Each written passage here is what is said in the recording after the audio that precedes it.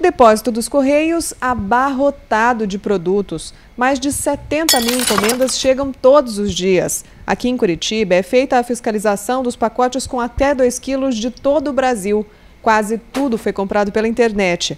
Aliás, esse tipo de comércio online foi o responsável por um aumento de 65% na quantidade de produtos que chegam pelos Correios só do ano passado para cá e a previsão é de mais aumento. Quando um produto chega ao Brasil pelos Correios, passa por um longo processo de fiscalização.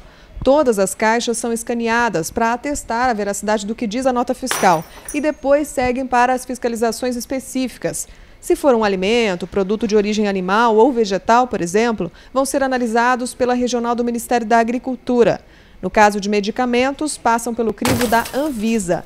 Armas ou produtos que ameacem a segurança nacional Exército. Quase 70% de todos os produtos comprados por brasileiros vêm da Ásia, principalmente da China. Outros 25% vêm dos Estados Unidos. De todas as remessas, 56% é eletrônico. O prazo médio para a entrega de um produto comprado pela internet, desde o clique até a chegada na casa do cliente, é de 20 dias.